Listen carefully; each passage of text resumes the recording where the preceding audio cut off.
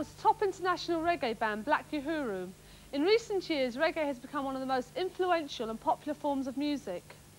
When rock musicians in this country first tried to play reggae in the early 70s, they found it really confusing because reggae coming from Jamaica rather than from North America, uh, it seemed a million miles from the rock and the blues styles that they'd grown up with. The unusual thing about reggae is the rhythm and the way the instruments lock together to create that rhythm. Now, the main part of the sound is the drums.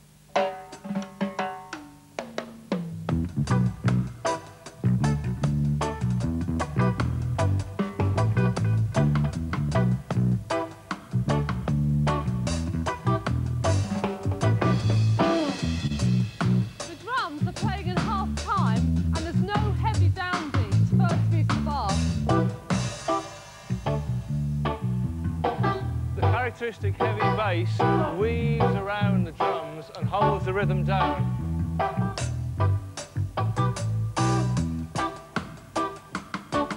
The guitar chops on beats two and four of the bar.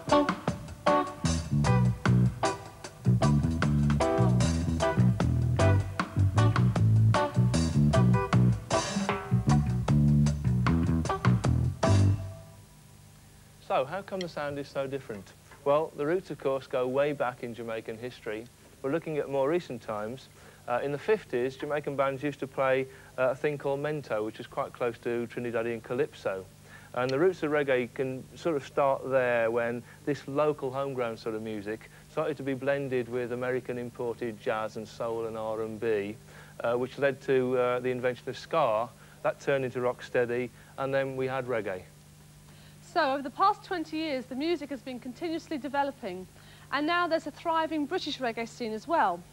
But now we're going to look at the instrumental techniques, starting with the drums.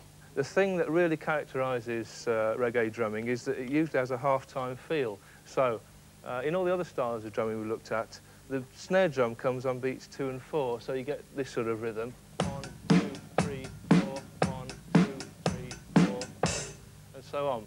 Now, in reggae, the rhythm's halved. So the snare drum comes down on beat three, right in the middle of the two and four. The two and four are transferred onto the hi-hat, and they're beefed up by the guitar, so you get this sort of sound. A one, two, three, four.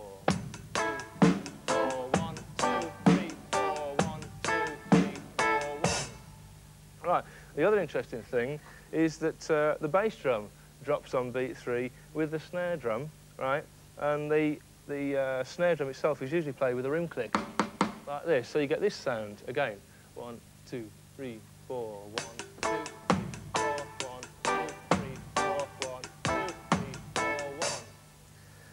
Okay, now this is called a one drop.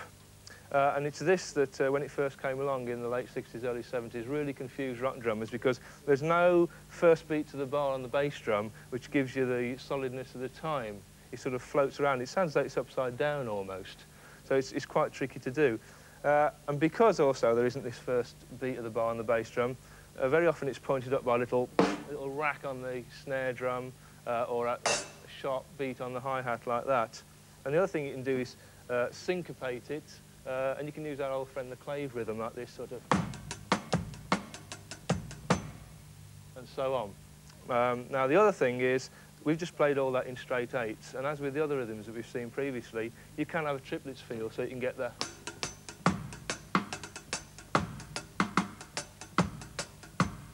and so on. So the next little bit we're going to do uh, is uh, a triplets feel one drop. I'm going to stick these little things in I was just talking about. Uh, and this is really the style that uh, Carlton Barrett of the Wailers made his own. Okay? Two.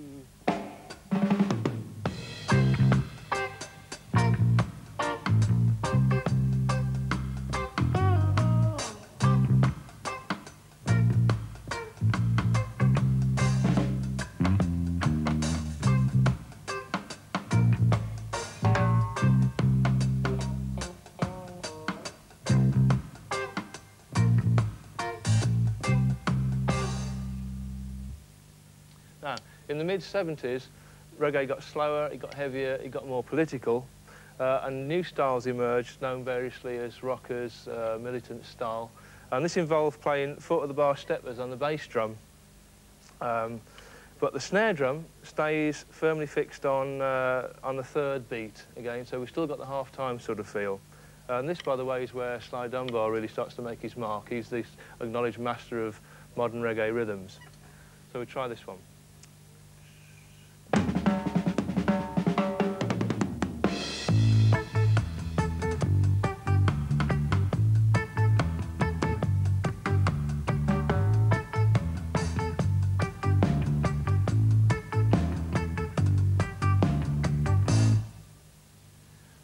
And as the 70s closed, uh, reggae had now become international, and uh, reggae drummers started to get influenced by rock and funk. So what happened was the, um, the bass drum was freed from playing four to the bar and started to syncopate around the beat a little bit more. And uh, you get this sort of style.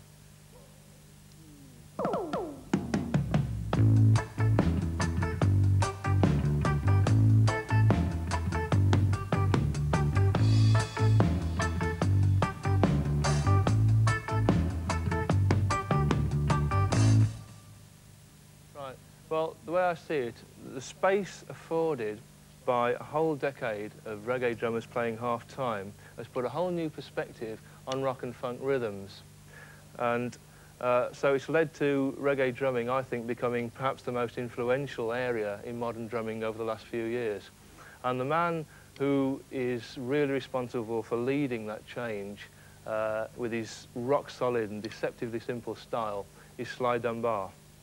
There may be a couple thousand rhythm patterns you could play by any song. So we have to choose which one is right for the song. So, for instance, if the singer singing something like Art Made of Stone, and the singer start, Art Made of Stone, I could play Art Made of Stone. You wouldn't let me know, but it wouldn't flow with the with the with the vocal that much, you know. So I was I was thinking of playing Art Made of Art Made Stone. Stone. But that's the beat that's used in a, a uh, regular, a regular, very regular, right? So I said, no, I want something different for this song, right? So what they were playing, I said, all right, I can try something. Turn the other way around. So I said,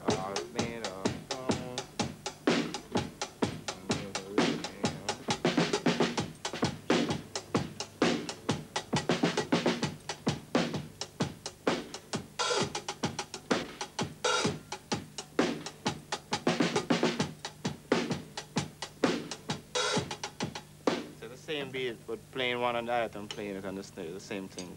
But you get different accent, different drum fall, and different notes, so they sound different.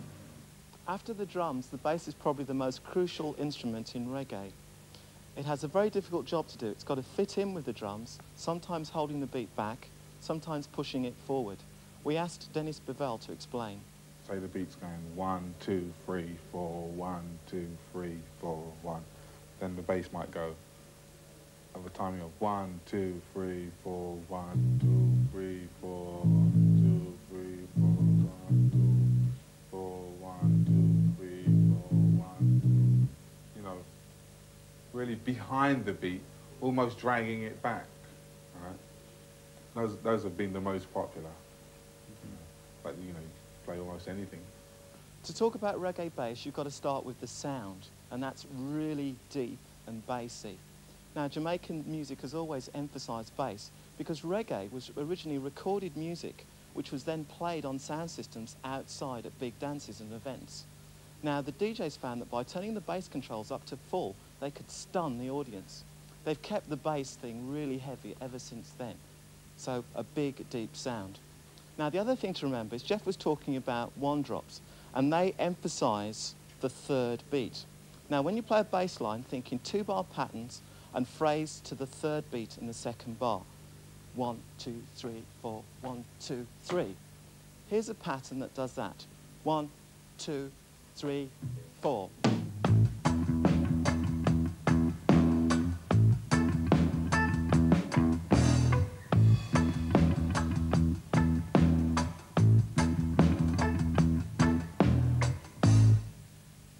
Now, once you've got an idea for the phrasing, try missing out the first beat. Here's a pattern missing out an eighth note.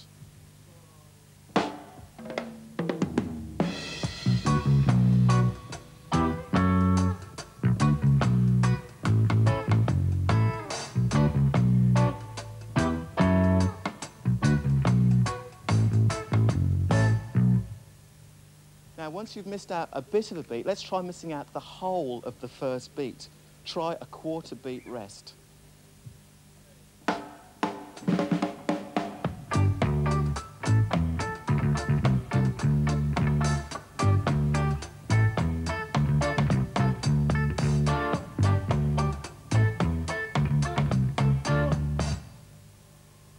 Another idea that you might try is to take a simple funk pattern, play it funky, then simplify it, play more laid back behind the beat, and it turns into reggae. Obviously, the drums and the guitar have got to change, of course. Something like this.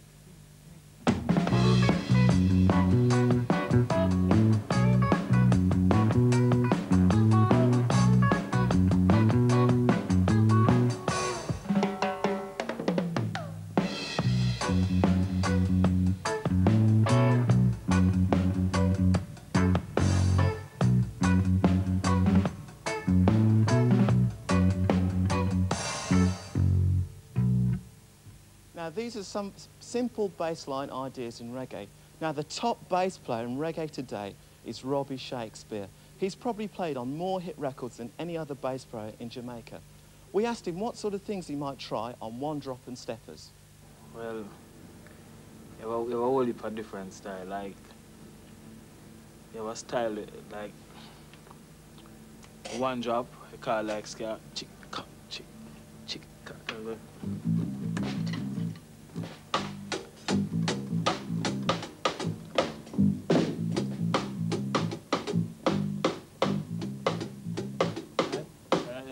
Like have the bass bumming around more, right? And the drum will just keep a steady, you know, steady beat, right?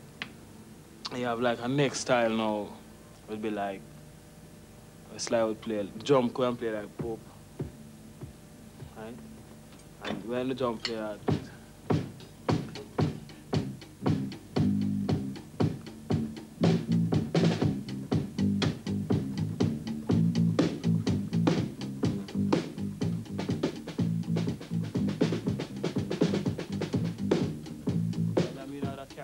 carry, the bass would now after foot drum, yeah, carry the beat now. So now the top would be well furnished, and the bottom would have your feet moving. The top can do anything. Now, it's not only the rhythms you play, it's the notes you play as well. Because reggae bassists tend to play phrases that create tension, and that sounds great with the up in the air feel of the rhythm. One way of doing that is to emphasize the fifth of a chord. I'm going to play a pattern that I played before, but you'll notice that the fifth is emphasized more. It's A going to E, and this will be played over an A minor chord. It's like this.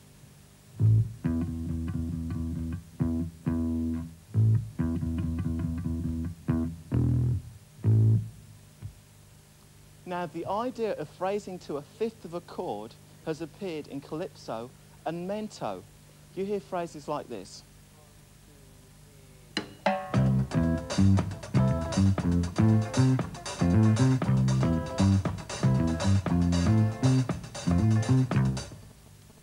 Now, if you take the same bass line, play it a lot slower, and with a laid back feel, you get something like reggae.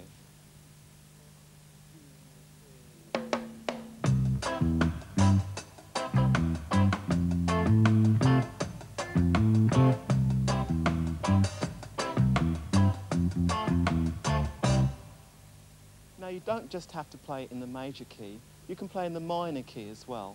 So this example is going to use A minor and E minor. I'm going to emphasize the third beat of each bar and I'm going to phrase to the fifth of each chord.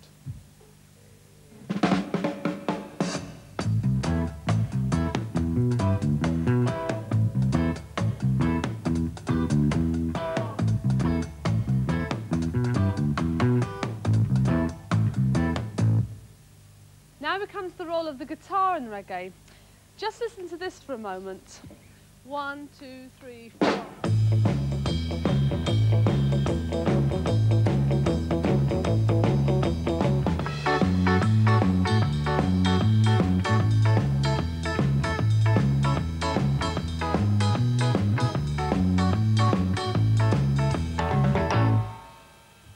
Now that was like a crossover between American R&B and early ska. There was a guitarist called Ernest Ranglin who actually began skanking on the offbeat. And even though reggae music today is a lot slower, you've still got that distinctive guitar chop rhythm. And as Jeff mentioned earlier, it's like on the second and fourth beat of the bar where the snare drum would usually be in, in rock music. Now, to get that sound, we're going to use the technique that we looked at in funk last week, which involves left-hand damping. If you remember, you actually fret the chord and then bring your fingers up quickly so they rest on the strings, and this cuts the sound off short, so like this.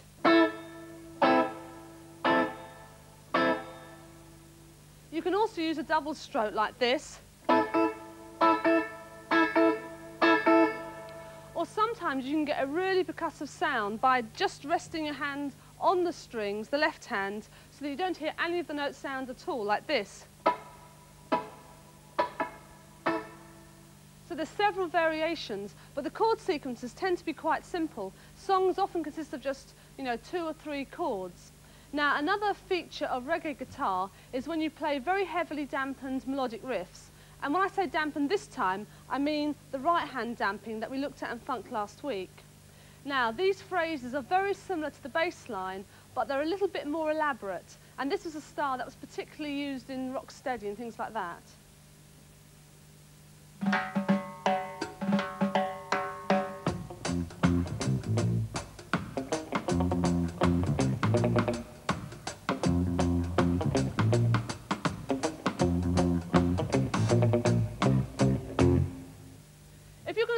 Guitar solo in reggae, the important thing is to keep it simple and melodic. I'm going to do a guitar solo now using mainly the blues scale and adding in a couple of extra notes to try and get the most melodic sound that I can.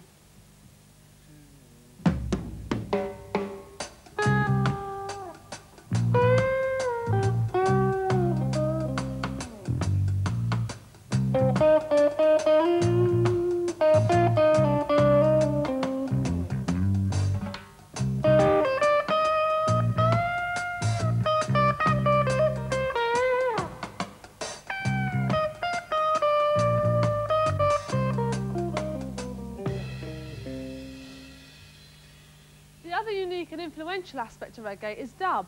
In the 60s, records were made where the B-sides were instrumental versions of the A-side.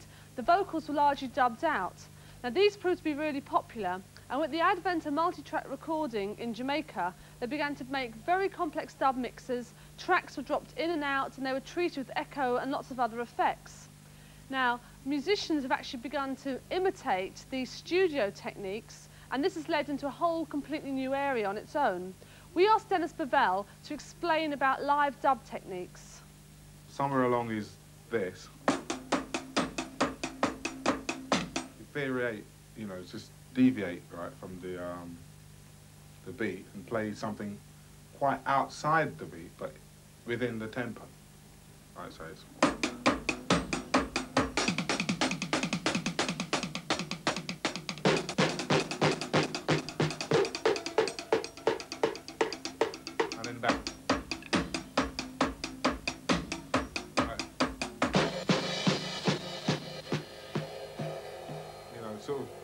play something alien to what's happening, but not for too long, just long enough to make it sweet.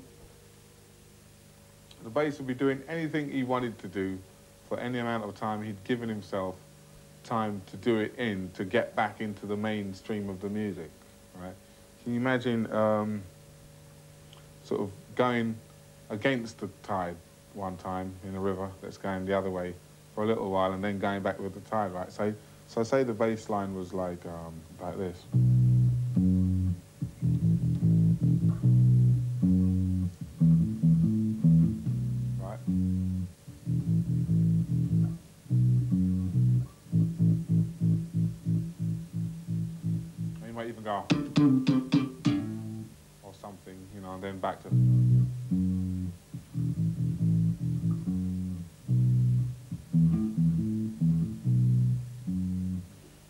First of all, say you had an ordinary two chord pattern, right? The tune was just bubbling in two chords, right? From there, there, right? Now, keeping that in mind, right? I'd get out of that time go.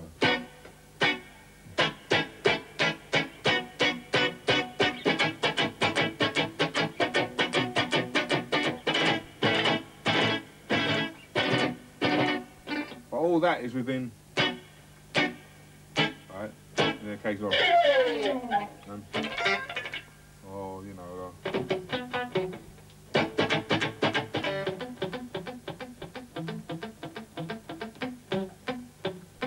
slow it down, but all within, right? To give the illusion of sort of doing that.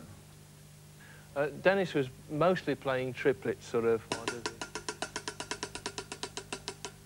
Slowing them down, speeding them up to imitate the effect of tape echo.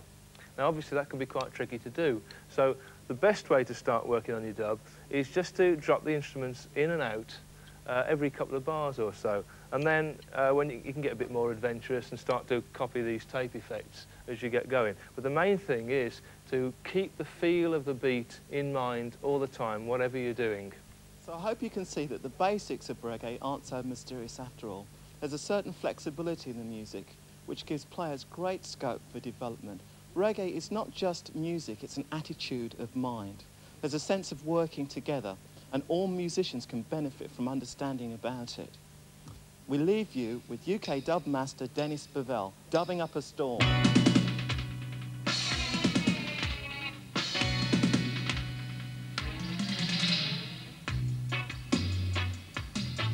I got the guitar now, right?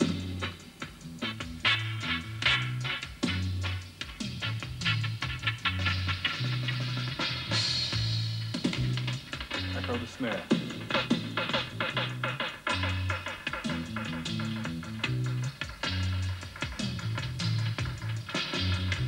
Back in the guitar.